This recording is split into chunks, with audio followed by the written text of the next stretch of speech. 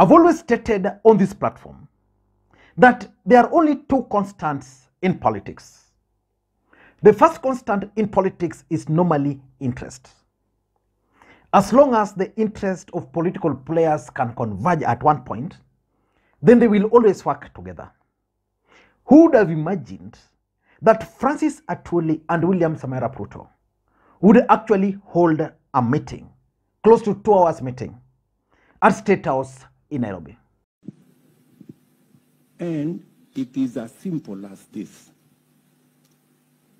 Uh, when we came into office, let me again give you an example, because I have the benefit of a bit of experience. When we came into office, we had 3.8 million people contributing to NSSF, NHIF, right? And everybody was contributing 340 shillings. Or is it 320? 320 shillings. Everybody. Just like the 200 of NSSF. So we decided to say, okay, why don't we adjust so that the people who earn more, like deputy president, can pay 5,000. Then the other people can be graduated like that. So we changed the regulation, but we were taken to court by a stupid man called Atwoli. I have no regret to say he's a stupid man because he is. He's a very foolish person. Because he is supposed to be representing the, the lower people. What business does he have defending deputy president not to pay 5,000 shillings? Wale wako karibu na William Samoei Ruto kule sehemu za Sugoi wakate miti isiwe karibu kwa ajili tarehe tisa usubuhi ya huyo usiku kura itatangazwa na huyo mtoto atajinyonga. Wakate miti.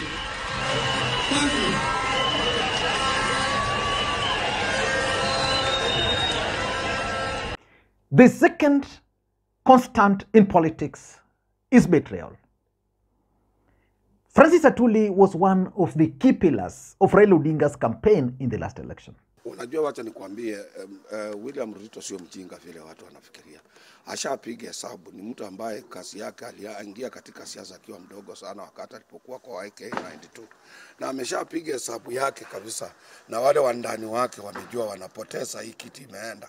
Kwa hivyo sasa hii hasira yeye kati ya yake na Uhuru Kenyatta ni ya kwamba anaona kama Uhuru Kenyatta alimbetray kusupport Raila Amolo Odinga na yeye kupoteza kuti chang ya voti za uh, Mount Kenya. Mount Kenya Raila Amolo Odinga alikuwa na expect kupata 20%, lakini sasa vile ilivyo namna hivyo, wako neck kwa neck na William Ruto katika Mount Kenya, na tukimaliza wiki hii watu wa Mount Kenya watakuwa wamedecide, watasema hoteli ifungwe ama ndofu haisikwi na pembe zake. Sasa atawachiliwa yeye peke yake, na hiyo anajua sana. And because his interest and those of Raila Odinga are no longer converging, Francis Atuli looked for William Samara Pruto. In fact, he began by looking for uh, Musalia Mudavadi. And today he met with William Samoei Arap Ruto. But the biggest question which every Kenyan is asking is what is the political significance of that meeting? What will be the impact of Atwoli meeting with Ruto today? Before we get into all those, for those who are watching this channel for the first time, please I want you guys to take a second or two, click that subscribe button so that next time we produce a video like this, YouTube will automatically notify you. And to the subscribers, I want to continue thanking you guys for your continued support. Because without that support, this channel cannot be where it is. And I want to make a request to you guys. Please, for this particular video, just press that thumbs up button. And for those who can, also please drop your comments. That's the best way you can support the channel. I know there are so many people who always send me coffee. You can also do that using the numbers below. And I want to thank Richard Ulum, Arena DC from New Jersey. Thank you, comrade, for always supporting the channel. And George Okello, also based in Maryland, but from Dago. Dago is just next to where I am here. I'm waiting for you guys to arrive back into the country so that we can have nyama choma. Now, let us look into this particular meeting which took place today. And I want you to be honest with me. Do you believe that this meeting is going to have political impact? For me, I tend to think that this meeting is going to have huge political impact, especially as far as the mon- as far as uh, as far as Western Kenya or the Luhya politics is concerned. I was looking at the names of the people who attended this particular meeting. Let me just get to Musalia Mudavadi's page. Those who attended this meeting, eh, you can clearly see there is uh, Ruto there, there is uh, Atwoli, there is Boni Khalwale, there is Rashid there, there is Weta there, and this group of loyal leaders. So for me, I can see Washel is there, several key loyal leaders, and also the presence of uh, Rigathi Gachagua in this particular meeting. So it's going to, this meeting, in my view, is going to have huge political impact in this country moving forward. But what was the main objective of this meeting? The first objective which William Ruto wanted to achieve by organizing this meeting is that Ruto is keen on locking out Raila Odinga out of Luhya politics. And the only way to lock Raila Odinga out of Luhya politics is to drag Atwoli from his side. Let's face it, William Ruto can have Mudavadi, he can have Weta, he can have all those other people, including uh, Oparanya, on his side. But as long as Atwoli is with Raila Odinga, he was not going to succeed. Because Atwoli has the money, Atwoli has the ability to identify key politicians from uh, Western Kenya. In fact, after every election in this country, Atwoli normally controls members of parliament from Western Kenya. Why? Because he sponsors most of those candidates. And because of his deep pocket, Atwoli also has the ability to mobilize. So when he was with Raila Odinga, for instance, would organize those anti-Mudavadi rallies, those anti-Weta rallies. He would organize events for Raila Amolo Odinga. Because of his money, even the elders down there would listen to him. So in most cases, Muda, Musalia Mudavadi Ruto would, would make moves here and there, but at the end of the day, the elders would sneak to Atwoli's home because he, he also understands how to, to stay around with, uh, with Wazes. So by going for Atuli, I think Ruto is now keen on stopping Raila Amolo Odinga. One thing I'm not sure about is whether he's going to succeed. Because Raila Odinga also has his other tricks. Can Raila Odinga then now go to Western Kenya minus Atwoli, minus Weta, minus Mudavadi, minus, uh, okay, th- only those three. Because the rest, I'm sure he can, uh, Raila Odinga can manage. So Ruto is reaching out to Atwoli for one main reason locking out Raila Odinga from uh, Luhya politics. Number two, and this one here, someone will come back to me later and thank me. Ruto is preparing Musalia Mudavadi as a potential running mate in 2027. The truth of the matter is that the mountain voted for Ruto to the last man. And uh, Ruto is not very sure with the mountain. Because if the mountain left Uhuru, one of their own, a man they termed anointed by God, what will stop them from uh, dumping Ruto? So the best option for Ruto would then be Musalia Mudavadi. Ruto is going to make the same mistake which Uhuru made. And he's going to fall out with Rigathi Gachagua. And that can explain why Rigathi Gachagua insisted on attending this meeting. Maybe Ruto informed him I'm meeting with the Luhyas, Luhya leaders all of them. So mimi nakuja, then he just crossed. So I'm looking at this meeting as a strategy to raise the profile of Musalia Mudavadi. Indeed, I Atwoli met with Musalia Mudavadi first, and there are other leaders from Western Kenya who really don't have time for Mudavadi, but I saw them today with uh, Ruto. So Ruto is basically trying to consolidate Western Kenya under the leadership of Musalia Mudavadi.